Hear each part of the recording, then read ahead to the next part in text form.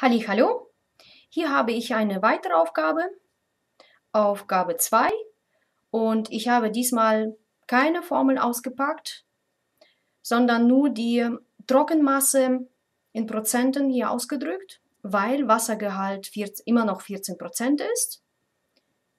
Wie gesagt, das werden wir zur Vereinfachung bei allen Aufgaben annehmen. Und die Aufgabenstellung lautet, die Chemische Landesuntersuchungsanstalt hat bei einer Roggenmehlprobe von 5 Gramm einen Mineralstoffgehalt von 52,5 Milligramm ermittelt. Laut Herstellerangabe soll es sich um Roggenmehl der Type 1150 handeln. Ist die Herstellerangabe korrekt? Überprüfe rechnerisch. Ich habe mich entschieden, diese Aufgabe mit Dreisatz zu lösen als alternative Rechnung. Hier ist aber ganz wichtig, dass man versteht, was aufgeschrieben wird und was dementsprechend gleichgesetzt wird.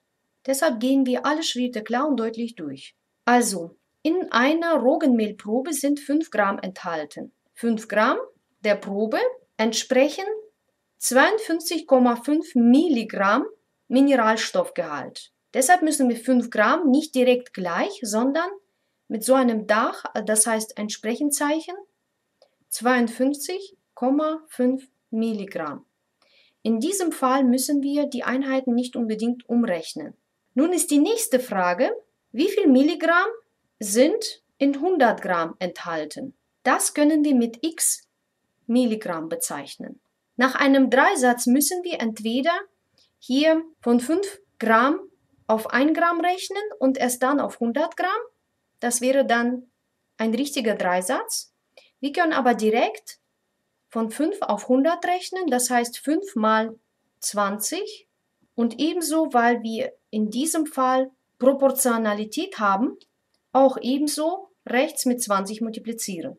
Oder man kann direkt 100 mal 52,5 rechnen und durch 5 teilen. Das heißt so über Kreuz multiplizieren und hier über Kreuz durch 5 teilen. So bekommt man im Prinzip das gleiche raus. Okay, nach meiner direkten Rechnung ist dann x gleich 1050 Milligramm und das ist noch keine Antwort.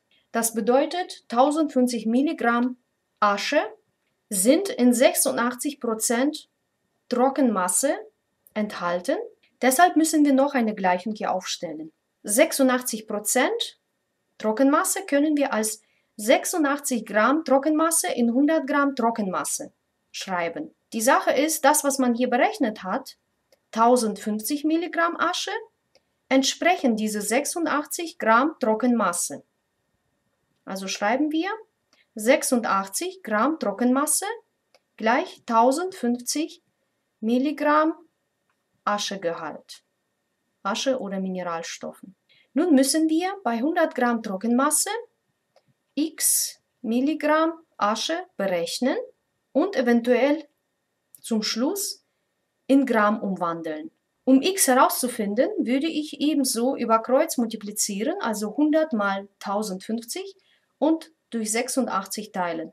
Weil wenn ich hier nach drei Satz Zwischenschritte mache, werden meine Berechnungen etwas gerundet sein. Das möchte ich vermeiden und erst zum Schluss runden.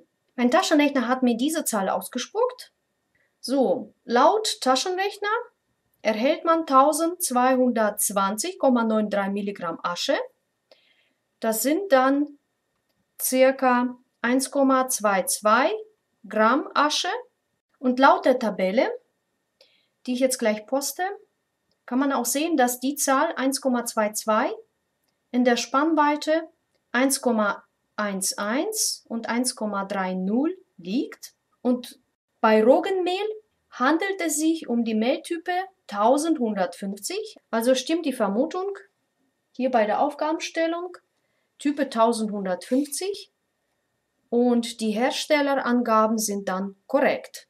So, es folgen gleich weitere Aufgaben. Es gibt noch mehrere. Bleibt dran, bis gleich.